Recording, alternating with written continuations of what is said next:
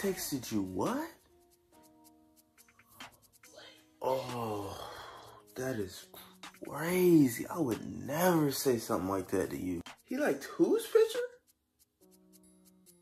What is he thinking? You're way cuter than she is.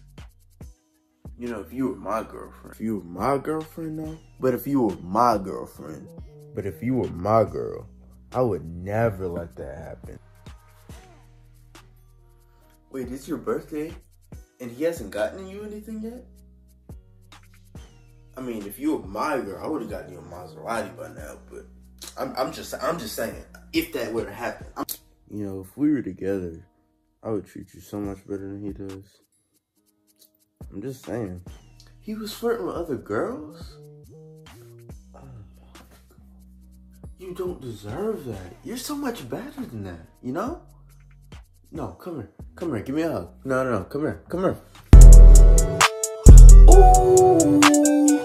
You know, if I'm being completely honest, I think you should just break up with him. But, I mean.